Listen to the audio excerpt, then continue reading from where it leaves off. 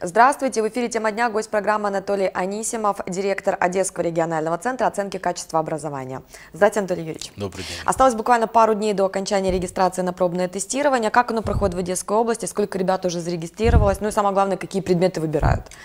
Ну, могу сказать, что в этом году у нас более активно проходит этот процесс, почему мы очень-очень рады. Значит, если сравнивать с прошлым годом, то у нас в прошлом году зарегистрировано было порядка 7700 500 э, человек по Одесской области из где-то 15 тысяч, ну почти 16 тысяч потенциальных участников ЗНО. В этом году у нас э, э, потенциальных участников порядка 12 тысяч, но это имеется в виду выпускников школ.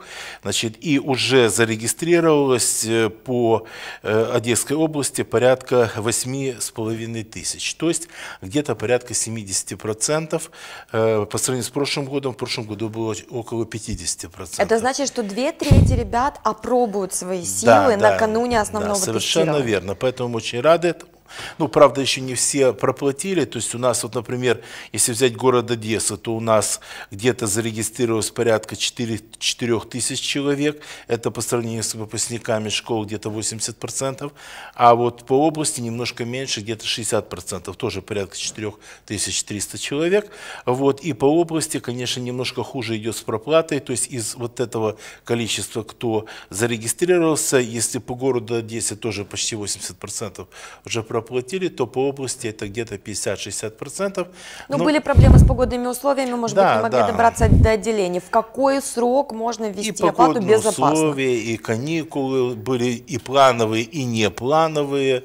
Вот, поэтому, но все это можно сделать еще до 5 февраля. То есть от 31 января мы заканчиваем э, значит, регистрацию на пробное тестирование, и еще 5 дней дается для тех, кто не успел по каким-либо причинам оплатить, они могут оплатить оплатить э, это в любом удобном для них месте, любой банк Украины, э, значит, принимаем эти платежи, как это все в программе регистрации, все описано, как это можно сделать. Давайте уточним, 31-го заканчивается регистрация, но еще 5 дней Да, еще можно 5 дней можно проплатить. Да. Оплату. То есть зарегистрироваться уже нельзя будет, но если вы внесли свои данные регистрационные, то вы, оплатив, откроется ваш персональный кабинет. Те ребята, которые не оплатят, что с их анкетами будет? Ничего, они просто будут уничтожены, то есть э, останутся, останутся э, в виде персональных кабинетов только э, информация о тех, кто заплатил. Антон Юрьевич, и какие предметы выбирают? Ну, смотрите, у нас, как обычно, украинский язык и литература вне конкуренции, то есть практически все, кто зарегистрировался, выбрали этот предмет. А дальше идет, значит, на втором месте у нас математика, это порядка 1900 человек зарегистрировался. Дальше идет э, английский язык, 1700. Э, затем идет история Украины, 1150 где-то, и биология, порядка 500. А как эти цифры коррелируются с прошлогодними? Ну, у нас, э, во-первых, увеличилось количество ребят, которые зарегистрировались на английский язык. Э, это, видимо, связано с теми новшествами, которые будут введены для иностранных языков, в том числе и английский. Вот. Э, математика больше зарегистрировалась по сравнению с прошлым годом. В прошлом году было больше на историю Украины. Вот. А так по остальным предметам примерно на том же уровне, как и прошлый Вы упомянули новшества, связанные с иностранными языками. Давайте напомним, что это за новшества. Ну, у нас по иностранным языкам впервые вводится новая форма э, деятельности. То есть это аудирование или восприятие на слух текста. Э, то есть э, в каждой аудитории, где будут проходить тестирование, будет стоять звуковое воспроизводящее устройство, будут вместе с пакетами э, заданий будут переданы и диски, на которых будет записан текст какой-то. Вот нужно этот текст прослушать и затем ответить на вопросы, которые есть вот в рабочих тетрадях. На это отводится еще дополнительное время, то есть если у нас раньше 120 э, минут, то есть 2 часа отводилось на тестирование по иностранным языкам, то в этом году уже 150 минут, с учетом того, что появился дополнительный вид деятельности. Ну и еще один маленький нюанс, связанный с тем, что у нас э, вводятся как бы двухуровневые э, тесты, но не совсем как бы э, сам тест, потому что тест одинаков для всех, но э, для тех, кто обучался в обычной общеобразовательной школе, как мы говорим, на, экономи... на э, академическом уровне или уровне стандарта, значит, для них будет меньше вопросов, которые обязательно нужно ответить. А для тех, кто обучался в профильных классах или тех, кто хотят вот, поступать в вузы, то, естественно, нужно будет ответить на все абсолютно вопросы этого теста. Но в самом тесте будут звездочкой помечены те вопросы, отвечать на которые не обязательно, если вы хотите сдать государственную итоговую аттестацию на уровне стандарта или академическом уровне. Антон Юрьевич, ну вот кажется, что тест становится сложнее, все-таки новое добавляется задание, аудирование, но тем не менее больше ребят выбирают английский язык и другие иностранные языки. Почему так?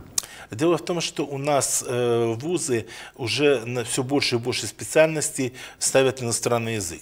И получается, что если раньше таких специальностей было, ну, можно было по пальцам пересчитать, то есть в основном это было гуманитарное направление, там филологическое, ну, понятно, иностранные языки, значит, э, немножко было связано с менеджментом, там, с внешнеэкономической деятельностью. Вот, то сейчас даже на экономистов, даже там, где вот э, требуется э, тоже менеджеры, значит, э, ставят иностранный язык. Вот. И поэтому, видимо... Это за счет квоты истории Украины? Нет, я не думаю. Э, дело в том, что э, там во многих случаях было, скажем, ну, дополнительно, если это, например, естественно, научное направление, то шла обязательно математика, потом, допустим, там химия, физика, биология.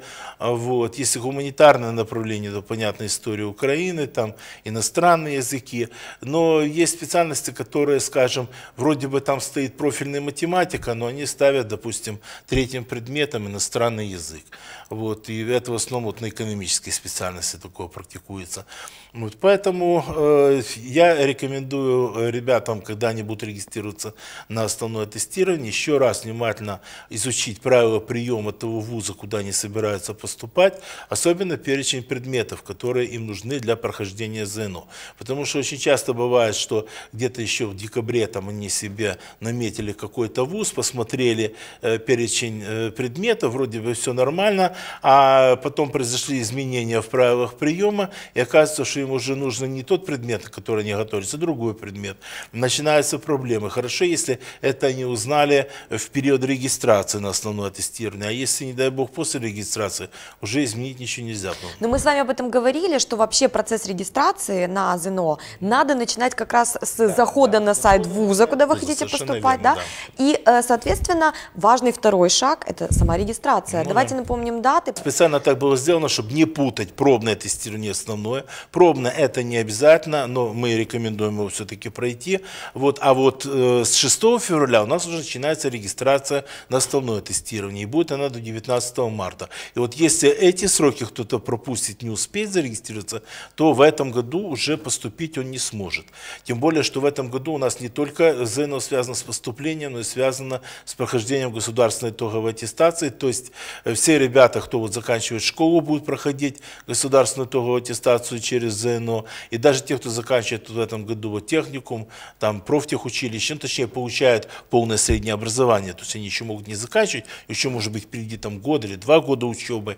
Вот. Но они заканчивают цикл общеобразовательной школы. Вот они тоже должны пройти ЗНО, правда в этом году пока только с украинского языка, но тем не менее нужно зарегистрироваться вовремя, чтобы потом не было проблем с прохождением государственной итоговой аттестации. И для этих ребят тоже есть нюанс, их будут регистрировать в их же учебных заведениях. Если раньше, вот еще в прошлые годы, ребята, которые учились в техникумах, профтехучилищах, там, э, этих колледжах, вот, они, если и регистрировались, то регистрировались только для того, чтобы потом поступать в высшее учебное заведение 3-4 уровня аккредитации. То сейчас, в связи с тем, что им понадобится ДПА, значит, они должны регистрироваться уже э, непосредственно у себя, то есть как и в школе, будет определен человек, который будет отвечать за регистрацию в колледже или в техникуме, вот, и к ним нужно обращаться, и э, они собирают все документы и централизованно подают нам пакет документов. Те же ребята, которые уже имеют полное среднее образование, значит, а хотят поступать в высшее учебное заведение, делают это самостоятельно. То есть сами заходят на сайт Украинского центра, значит, сами там оформляют свою регистрационную карточку, прикладывают туда необходимые документы и сами там рекомендованным письмом отправляют Одесский региональный центр. Антон Юрьевич, и вот э, продолжая тему о документах. Теперь ребята обязательно должны при регистрации предъявлять именно паспорт, а не свидетельство о рождении. Да, если в прошлом году те, кому еще не исполнилось на 1 сентября, ну, прошлого года имеется в виду, 16 э, лет, имели право регистрироваться по свидетельству о рождении, то в этом году в связи с изменениями нормативной базе, значит, уже ребята с 14 лет получают паспорт, поэтому все должны регистрироваться исключительно по паспорту.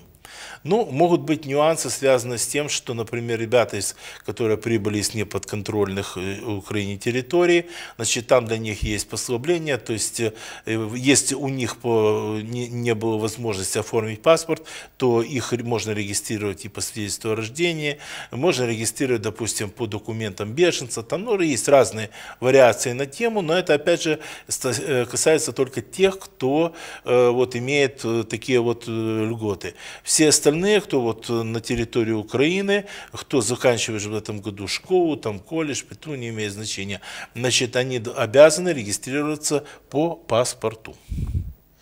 А, возвращаясь к теме о э, тестировании, я бы хотела еще уточнить один момент. А, как будет проходить э, аудирование по иностранным языкам для ребят с ограниченным слухом и зрением? Значит, что касается ребят с ограниченным слухом, э, значит, ну, тут варианты у нас были такие, значит, либо это как бы сурдоперевод идет, значит, если это необходимо, вот, либо выдается листик с напечатанным текстом, и они просто э, отрабатывают его как письменное задание.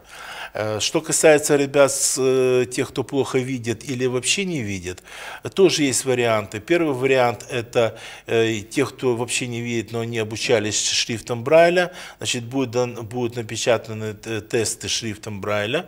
Вот. И для этих ребят, только они, естественно, должны заранее при регистрации указать и предоставить необходимые документы, что им необходимы тесты шрифтом Брайля. Или, если они слабовидящие, тоже должны указать, значит, это при регистрации, и может быть предоставлены тетрадки с увеличенным шрифтом. То есть не обычно 14 кегель, там 16 или 20, э, в зависимости от того, насколько там слабое зрение. Нельзя сказать, что это будут вот массовые какие-то пункты тестирования для таких ребят. Их буквально единицы, поэтому, но все равно это наши граждане, они должны быть все в равных условиях, поэтому э, Министерство образования, Украинский центр делает все для того, чтобы инвалиды не чувствовали себя в чем-то ущемленными. Андрей Юрьевич, и вот аудитории для аудирования будут по-особому оформляться как-то? Нужна будет аппаратура, с этим могут возникнуть проблемы? Ну, оформляться они по-особому не будут, как все обычные аудитории, э, а вот э, аппаратура, да, то есть э, уже сейчас дано задание местным администрациям, значит, обеспечить, мы уже примерно как бы предварительно определились, где у нас будут расположены пункты тестирования именно для аудирования, и, собственно говоря, на пробное тестирование тоже мы будем прокатывать эту технологию. Значит, и в эти учебные заведения, значит, либо они сами закупают, либо для них предоставляют, значит, им аппаратуру звуковоспроизводящую, есть специальные требования, какая там должна быть к этой аппаратуре. И дальше вместе с э, заданиями, вместе с пакетами заданиями, с рабочими тетрадями, значит, на данный пункт тестирования приходит еще и диск для вот этой звуковоспроизводящей аппаратуры. То есть в каждой аудитории будет стоять звуковоспроизводящая аппаратура, в определенное время она включается, они на слух воспринимают принимает аутентичный текст и дальше отвечает на вопросы, которые поставлены в рабочей тетради по этому тексту. И давайте в заключение напомним основные базовые даты внешнего независимого тестирования и пробного, и потом основной сессии. Ну, 31 января заканчивается регистрация на пробное тестирование. Значит, еще раз подчеркиваю, что до 5 февраля еще можно будет проплатить, если вы зарегистрировались, не успели проплатить, это можно будет сделать. А вот 6 февраля уже начинается регистрация на основное тестирование. Она будет у нас до 19 э, марта, но до 2 апреля еще можно будет носить какие-то изменения, если вдруг были или выявлены ошибки при заполнении карточки, или, например, поменялись какие-то жизненные э, ориентиры, то есть, например, нужно было один набор предметов, а тут оказалось, что нужно добавить или убрать какой-то предмет. То есть это все можно будет скорректировать до 2 апреля. Вот. Но дальше уже, э, уже после 2 апреля никаких корректив, ничего уже вносить нельзя будет. Спасибо вам большое за беседу. А я напомню, в гостях был Анатолий Анисимов, директор Одесского регионального центра оценки качества образования.